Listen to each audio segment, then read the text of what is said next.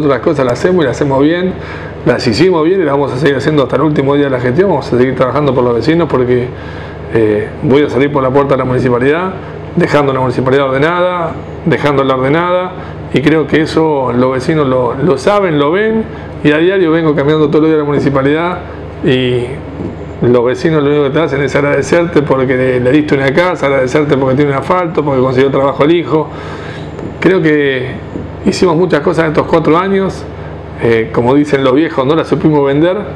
y bueno, eh, hay una nueva fuerza que lo he felicitado al otro día de la elección, lo sigo haciendo a diario y creo que se tiene que hacer cargo de la municipalidad y ojalá la dejen mucho mejor que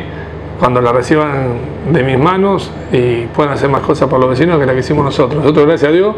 podemos poner eh, a la vista a todos los vecinos las cosas que hemos hecho estos cuatro años y hemos hecho muchísimas obras. Creo que nunca se hizo tanta obra pública como se hizo en estos cuatro años y se tiene que seguir haciendo lo que empezamos a hacer nosotros. Hay obras que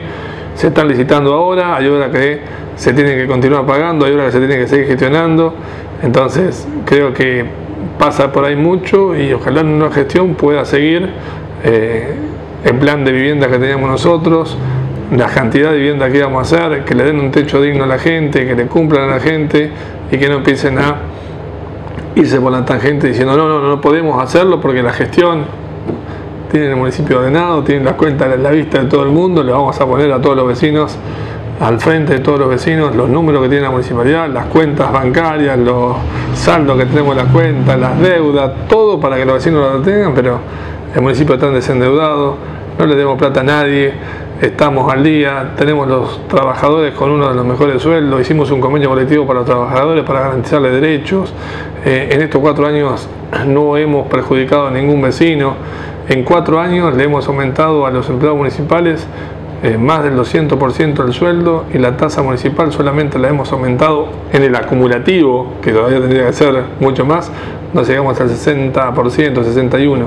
Está, creo que se habla de gestión, de austeridad y de que los recursos vayan a los vecinos. Y creo que fui el único intendente en la historia de Rodríguez que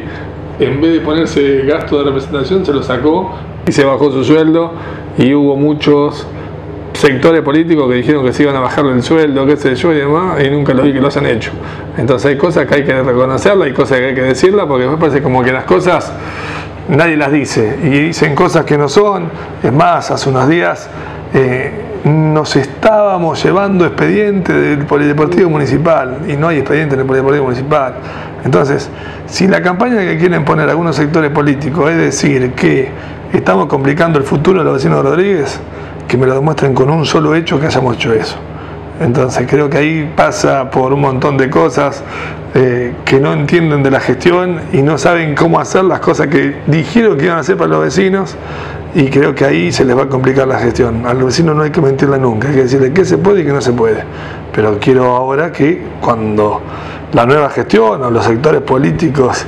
de, Rodríguez cumplen lo que le dijeron a los vecinos, ya que van a tener representatividad en el Consejo Liberante, van a tener demás,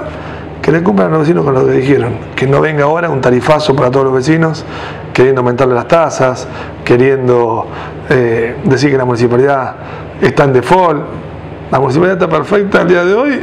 y no tenemos ningún inconveniente.